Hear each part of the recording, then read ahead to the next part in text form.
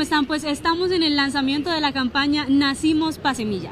Claro, Paula, porque es que Nacimos Pa' Semilla es el evento que le va a enseñar a los jóvenes del país a aprender a construir la paz que todos necesitamos. En sus casas, en sus entornos, de pronto esa semilla les recuerde que ellos al mismo tiempo son semilla para sembrar paz.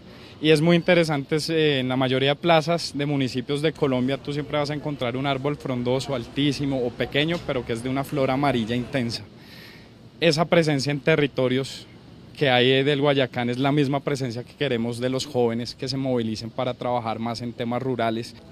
Bueno, y es que esta importante campaña inicia hoy en Bogotá y tendrá presencia en varias regiones del país, Daniel, y contará con un personaje muy importante, Sabas Emilio Duque. Claro, Paula, y es que él es un excombatiente del Frente 19 de la guerrilla de las FARC, quien ahora, a través de la labor social, se dedica a construir la paz del país. Después de haber eh, hecho parte activa de la guerra en este país, de ser un sobreviviente de la guerra, eh, me he dedicado a promover la paz, la reconciliación, porque es el camino realmente que los colombianos merecemos, que y seamos un ejemplo para la sociedad, es decir, promover la paz, promover el perdón, la reconciliación. Así es, y los jóvenes que quieran, Daniel, hacer parte de esta importante campaña deben presentar sus propuestas a la página www.premiofundacionelnogal.com. Porque claro, todos nacimos para ser semilla. Regresamos con ustedes al estudio.